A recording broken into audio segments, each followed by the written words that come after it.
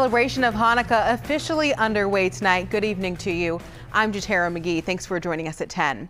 The Festival of Lights in the Jewish faith is one of the oldest traditions in the world, celebrating the survival of the Jewish people amid hate. Now, this year, hundreds of years later, the U.S. is seeing a rise in anti-Semitic incidents. WLWT News 5's Danielle Dindak went to a menorah lighting ceremony tonight. Danielle, what did people you spoke with have to say? Jatera, the people I was with tonight are choosing to choose hope and light this holiday season, telling me that light will outshine all the hatred.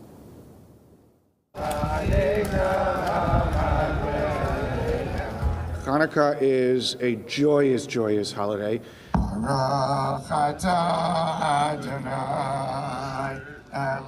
It's basically a holiday we celebrate uh, religious freedom. Lighting the candle on the first night of Hanukkah, Rabbi Yisrael Mangel with the Chabad Jewish Center. Of course, the message for each of us is we may look at ourselves as very, very small. I'm only one little jug of oil. But all we got to know is what do we do? If you kindle that oil, you'll get to burn for eight days too. At Summit Park in Blue Ash, dozens gather around the menorah, a symbol of survival and peace. The Festival of Light dimmed by the surge of anti Semitism. It means celebrating with family and friends and it means wonderful memories of when I was a child. And there wasn't as much anti Semitism that I felt as a child.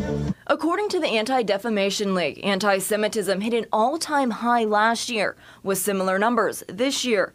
Let's take a look at the last few months in the greater Cincinnati area. Three people were caught on security cameras, trespassing on the Miami University Hillel property and overturning the sukkah. A month later, also at Miami University, swastikas and anti Semitic posters popped up on campus.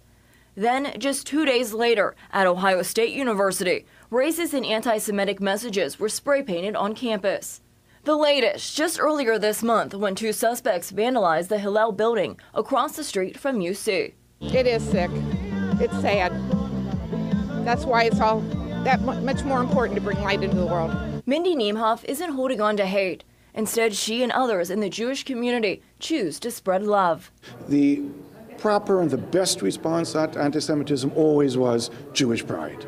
Pride that's held this faith together time and time again for hundreds of years, even amid the hatred. I'll take your menorahs out, kindle your candle, put it out in the front window, put a Happy Hanukkah sign up in front of your house. That's the best response that we have to what's going on in the world today. And tomorrow morning at 11:30 right here at City Hall there will be a community menorah lighting and there are plenty of activities going on over the next 7 days. I'll make sure to add this list over on our website. But reporting live at City Hall, Danielle Dindak, WLWT News 5. All right, Danielle, thanks a lot. Well, she mentioned some of the celebrations happening to commemorate Hanukkah this week. Of course, there are many. The Jewish Federation of Cincinnati is hosting Hanukkah at Fountain Square on Wednesday. There will be a menorah lighting there, ice skating, and bumper cars. That's happening from 6 to 8 on Wednesday evening.